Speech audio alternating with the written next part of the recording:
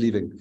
So Yes, no, no, it definitely is not your fault that that happened. Uh, I'm sure the guys in the Loftus press box are disappointed they don't get to chat to you, but they can get the recording from me if they need it. Okay. Um, yeah, so Dobbo, just from my side, I mean, uh, incredible character, obviously, to win again at, at, at, Loftus. What did you say to the team afterwards? What, what you know, what, what was the message after that game? Mike, can you see us? I can see you fine. Can you hear me? Yeah, we yeah. can hear you. I can hear you. Just can't see you, but I don't know. Whether, I don't know. Some setting up obviously going wrong. That's fine. Okay. Um, no, look, my brothers I said the same thing very quickly. Just that we're very proud of them. I didn't really, literally didn't say anything more. Very proud of the character.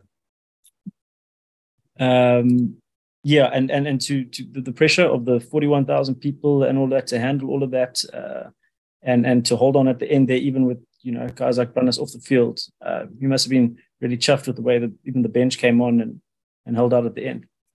Yeah, um, uh, uh, and Netta spoke in the week a lot about how intense, and we knew the level of motivation and desperation for this game. Those few 20, first 20 or 30 minutes or 20 minutes, yeah, would be really tough. They dominated the territory for most of that half.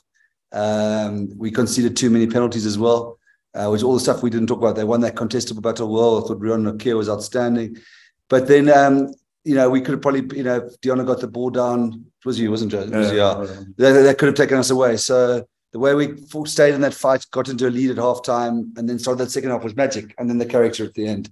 That's just what this team's about. That what happened in those last 10 minutes. And so I'm so proud of them. Sure. Deon, obviously, it's something we've made a bit of this week is you've played in a couple of, of these games. Where where does this one rank for you? I mean, it's obviously, you know, it's, it's, a, it's a big one. Yeah, it's uh, especially with the crowd. Um, just to latch on to that. Um, uh, thanks to all the Stormers out there yeah. as well. I, th- I, don't think it was 40, 41,000 Bull supporters. I think it was almost half half. And yeah, thanks to all the support that came out for that.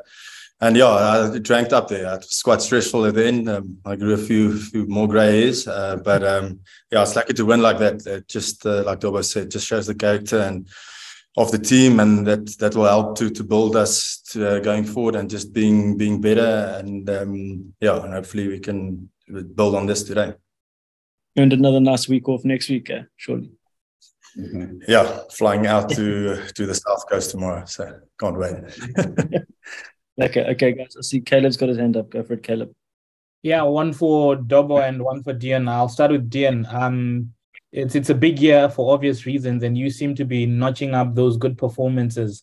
Um, I think you probably asked earlier what what what makes you keep going at not a very young age in terms of getting those performances out on big days like this. Yeah, um, I think with the environment in, in, in the squad at the moment, it's uh, it's just a given. I think what what the guys uh, put their hand up every in training and, and on the field, if uh, you just you just have to to to do your part as well, and that and that comes easier if if the guys around you uh, do their part as well. So um, yeah, so credit to to the team and and to the management as well for for for keeping us uh, motivated for every week. Yeah, and Dobbo in terms of confidence, it seems like Herschel is getting his mojo back and is playing some some some good rugby. And uh, talk us through the substitution quite early um, between Scarra and um, and Joseph as well. Oh, that was completely pre-planned. Um, you know, Scarra has been out for so long. We knew he, you know, to do a whole half at Loftus, the last the last ten of the second half of the first half could be quite tough. So it's his birthday today, uh, but he he knew that was the it was the plan. The whole team knew that the plan before the game. Thirty minutes, and we make the sub. Just because you know, as I said, the end of that half up at altitude, it can be quite on that heavier field could be a little bit tiring for him. And Joe's obviously in great form, so that was a plan. But I'm thrilled with Herschel. I think you know I'm just so you know you probably guys you see him playing much better, which is great. But I tell you, from a leadership and professionalism and just as being a, and humor, he's just a yeah. he's like the next sort of not the next, that's wrong, but he's like a Damian Willemse like president, competitive but funny, positive, professional. He's really growing up in front of our eyes, not not, not literally, figuratively. um, cool, Caleb. You happy? Yeah. Okay. Yeah, I'm happy. I'll give that as a chance. Might come back with one more. Nice one. Thanks. All right, Ashfaq, go for it. Thanks, Mikey. I Deon. I Dobbo. Double at, at 12 3, it, it seemed like, I mean, you guys had hardly fired a shot and they kicking their points and uh, uh, you know nine points up. Do you think it, it was going to be a bad night at the, at the office and what turned things around? Yeah, I definitely think it was good. With you know as Deon will probably tell you as well, we, we did everything that we shouldn't have done. We gave away double penalties. You know, Sabella took the guy in the air, um, which is pretty unforced, and then we went offside the line, two unforced penalties. They got the you know, and then I think um, you know you're right. At 12-3 down, I think we had a scrum down in the right hand corner where Brocky got us a penalty, but we were under the pump. They'd gone there 19-3. I think I don't know. Maybe Deon could talk to what turned it around because it wasn't a tactical thing. I, you know, we were losing the contestable battle and we tied it up a little bit there. What do you feel, Brian? Yeah, no, it's just the silly mistakes. We spoke about it during the week. Um, we didn't get in the half once, and we just spoke about like just clamp down on silly mistakes, just keep it to the basics, and just let's just play and get into the half. And as soon as we got into the half, I told the guys every time we in there in their 22, we we came we walked away with points, um, and then um, yeah, and I think that turned around. But I think the guys the guys knew the first 20 minutes is going to be we spoke about it the whole week. The first 20 minutes they they're probably going to be up in the scoreboard the first 20 minutes because they, it's in front of their home crowd and they've got a lot to play for. And we just keep into the fight and uh, yeah, like um, like last year and through this whole year we always play for 80 minutes and yeah credit to the team. And Dobbo, the man next you is now a, a nice ripe old age of 36, but he's playing like a 26 year old the way he's getting stuck in there on the ground. He's, he's absolutely superb. I mean, so, to my mind, one of the best open side flankers in world rugby when it comes to uh, to to stealing ball and comp- also a great leader, great guy, great and competitive. And I was just worried that he was going to sort of look. I can't speak, but like uh, the World Cup would be a natural ending point. But we signed him for another few years. I hope. yeah. He's not going anywhere. No, we're really very proud of him. Great skipper, great leader, great human being, great player. Cool. Thanks, Ashfaq. Leedson is next. Thanks, Mikey. Hi, Dobbo. Hi, Deon. Deon, um, just just for you on that, um, uh, being a, a past 35 year old going for balls on the ground, um, you you need to pick your battles, and and and you did that quite good tonight because yeah. they looked after you. Um, just just speak to us on on that. Um, when do you decide when to go in, when to lay back? Um, because sometimes you wait for two extra tackles, then you go in, or then you, or you go after the first pick up and go, you go in. Yeah, um, there was a few question marks on on on my stealing during the week from from the Bulls side uh, through ref. So I knew I, had to be squeaky clean uh, on that side. Um, and yeah, I think it just comes with experience. Um, I think over my career, 16, 17 years of career, you know, when when to read the situation. I think it's all, all about situation and see what when it's on. Um, yeah, so yeah, I don't, I don't, I don't know why, but uh, I just see the situation develops, and then I see the opportunity, and then and then I try and go for it. And then just Dobbo um, when when Deon was off, um, you still had a couple of guys who stuck their heads um, in there. Um, I, I, would think that that sort of um, uh, motivation would come from from Deon doing the hard work up front in in the minutes that he was on the field, and then the other guys just carry on. We had we even had Ruben um, take a ball um, from the ruck there. Uh, look, I mean, Norman probably. Yeah, I just want to say. Yeah, Norman is going to, you know, because he's got a system, and that's certainly not in our system. You know, uh, Ruben and Sars getting those turnovers, but um, I think we were defending so well and uh, the Bulls were, you know, it was not like kick space was a threat. That, you know, we could probably put an extra, have an extra look in, and it paid it paid off for us. But you know, it's just a, there was just like this desperation of wanting to defend to win, and it saw us, you know, saw us take those balls. I thought we defended absolutely, defended excellently. I think. Uh, just on the side, I thought Ruben van Heerden is an immense player. And yeah, we're very lucky to have him. But well, for him to kick the last ball out here at Loftus is special. Thank you. Cool. Thanks, Thanks. Leeds. Next is Mabeen. Yes, Mabeen. Hi, good evening, Dobbo. Good evening, Brunus. Uh, first of all, well done on the victory. Um, just double question. Um, you guys have obviously beaten the Sharks um, away from home, and tonight you beat the Bulls. Um, you know, with Leinster, the Leinster game coming up on the 24th of, of March, obviously I know it's far away, but um, does it give you a sense of confidence uh, that you, you guys can actually win from home now or away? Let's put it that yeah, I think I think in tough, you know, won two tough away games, Sharks and Bulls. We do need we do need to win in the UK. Um, you know, we've only won a couple. Of, well, in in Europe, so that probably needs something we need to sharpen up. And I think Leinster's going to be a great experience for us. um, you know, we will get a lot of confidence from what happens there. You know, even if we hypothetically don't win it, uh, you know, if we end up playing there in a playoff or in a final, uh, that'll be a great experience for us. But it's something we want to get better, especially on those, which Leinster isn't, but on those artificial pitches where we've uh, we struggled a bit in Glasgow. But uh, yeah, we, I think um, yeah, we got the Sharks one more game. If we get that right, we've got a clean sweep of the local of the local uh, derbies, which would be brilliant for us. And then, Dobbo, just my final question. Um, obviously, not much has been spoken about this week, but obviously, your counterpart, Jake White, um, you've beaten him five times now. Um, I don't think there's any coach um, that's beaten him five times in a row. Is there any word on that? Uh, listen, um, uh, there's been a lot of talk, but it doesn't come from us about the 4 0 or the 5 0. Um, uh, every game, I'm being serious, every game is a new game. Uh, I think they, and, and, I'm sure they point out themselves, uh, they, they beat us for quite a few. When Deon came back uh, before then in the in the those Currie Cups of the lockdown and that sort of thing, I think they're probably been maybe even one more in a row against us. So I don't look at it against me. So he's probably, I don't look at it like that. Genuine joy for the uh, for, for, for, for the team. Uh, I promise you, it's not we don't view through that prism at all. Cool. All right. Next is Adnan. Yes, Adnan. Other guys, congrats on the win. Um, just on on that Jake mentioned uh, when I asked him about Manie, um, maybe having regrets letting Manie go um, a few years ago when he took over, and he was very complimentary and obviously in, in, the way Manie progressed, but uh, also the the way uh, W um, mentored him and and getting him to the level where he is now, and uh, not only him but other players as well. So uh, yeah, just the, the, culture that you've created with regards to those those kind of players.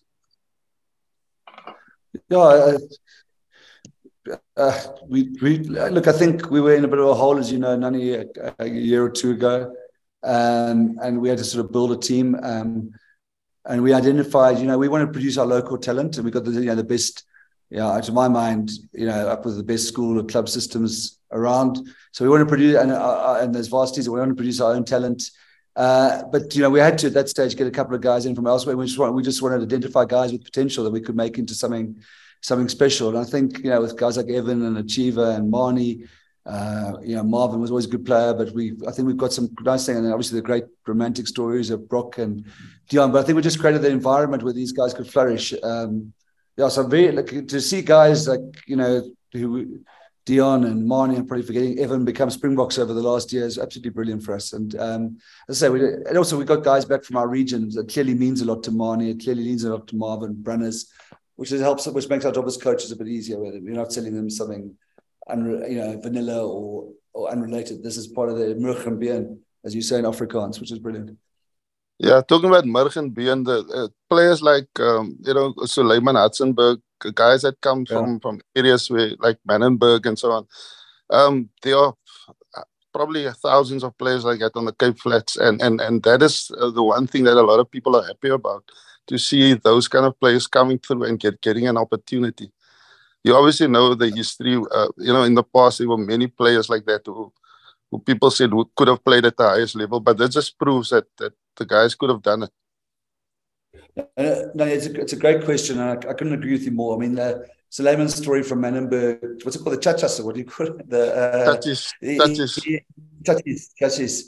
That is so important because that's where I support. I mean, I asked, yeah, I'm sorry, I'll get a bit of wound up now, but asked Deon, it took us about 40 minutes just to get out to the bus with all the supporters, and guys had driven up yeah, palpably from the Cape Flats to to the to Pretoria. Mean, uh, it's, it's it's so special, and that's why we have to have that connection. And something like Suleiman is that we need more, and we need guys not necessarily to have to go to a special, you know, get a school bursary to come through. If you know what I mean, that's what we need to get better at. But we there's a lot of work going behind the scenes into our pathway. But it's, it's very, very important uh, um, that we can show a clear progression. And you know, not only with Suleiman, you know, we've shown it with um, with Sacha, with Connor. There are a couple of guys who are coming straight in, and so we're not nobody's getting blocked uh, which is also an important thing. Yeah. Thanks. Cool. Thanks, Adnan. Caleb, do you have another question? Yeah, just one more. Um, Dobbo, in terms of Sacha Mngomezulu, he obviously had um that incident where he knocked the ball on when the game was looking a little bit tight. Um, and he hasn't had a couple of good runs lately. Um, how's the confidence of the guy? Is it something that usually happens at this stage of people's careers and then they climb up again? We saw it with Herschel Jantjies. Um, I think that's spot on, Caleb. no, no, I think that's spot on. Um, you know, it, we probably need to settle in, and you know that's what this, that's why we're so keen to coach in this Currie Cup as well to get these guys because you know if you see Sacha with the ball, he does all sorts of tricks you can't believe. You know, something like the Harlem Globetrotters where he can do the ball if he's walking around the team room, he can spin it on his finger, does all these things. So that's not a skill thing um, whatsoever. Um, so yeah, we try to build up his confidence a little bit. You know, it's it's not it's not ideal to chuck on a 20 year old with 20 minutes to go in what is a trench, you know, where the lead's flying at Loftus in that, you know, and, and the, it's a bit, the ball's a bit wet. So probably need to create, I probably need to create, we probably need to create a better sort of pathway and environment for him, you know, start him a game at 12 in the nice conditions, that sort of thing, you know, because we, things went wrong in Ulster as well. So I probably looked for an opportunity for him, whether it's Currie Cup or URC, we can settle him a bit. I think he just needs some confidence because he's got the skill and the mentality, there's no question. Cool, guys. And then Leeton again, so we can wrap up. Thanks. Uh, thank you, Mikey. Dobbo, just in terms of the log overall and in the SA Shield now, you you're sitting quite comfortably now. Um, uh, this week is probably a good good thing for you guys to just take a breather and and and um, take stock of of how the next uh, so four weeks after the break um, will play can possibly play out. Yeah, I think we enjoyed the rest after the Sharks game. It was really good for us, you know, especially on top of the win, and it's hopefully going to be a similar pitch. We are going to train next week, but um, you know, we probably need another win out of the last four games to get the Shield, which I'm sure we'll get, and uh, that's important for us. You know, you want to be um, the best team in South Africa, uh, and I think we're getting very close to that now, given our results, you know, over the season. So we want to just make sure we secure the Shield. We're not there quite there yet, but very close to it, and it's important for us you know, given you've been part of the Let's You and Nani, a lot of guys on this call have been part of the journey we've been on, and it's uh, be remarkable if you know. You, I also expressed my concern, you know, you know, the second season, and if we can win the Shield two years in a row, that's really a great feather in this, you know, yeah, for the union and the and and the team.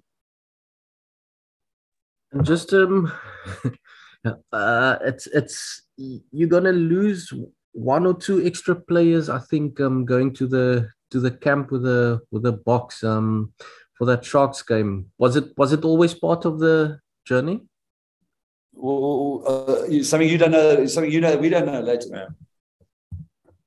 Just um, I think there's about four players from your side going going up. Oh yeah, so it's as far as uh, Kitsy, Frana, yeah, Marvin. Already they're already not part of us. Yeah, they're already not part of us. Kitsy, Marvin, uh, Ah, okay, so so Marvin is totally out. Okay. Yeah, yeah. Thanks. So it's the same team that's played these last two games. It's yeah. available for for the next Sharks game. Okay, awesome. Thanks. Cool. Thanks, guys. Uh, thanks again for making the effort. Um, yeah, and enjoy tonight. Uh. Uh, yeah, thank, thank you very much. Sorry to miss you around with the time slots. But I just originally about Brunner's point, it's incredible the Storm was supported up here. It's, it's one of the best experiences to see that. Just just FYI, really. Yeah, thanks. Nice one. Right, Hopefully we get even more cheers. for the Sharks. All right, cheers. Thanks. Cheers. cheers. cheers.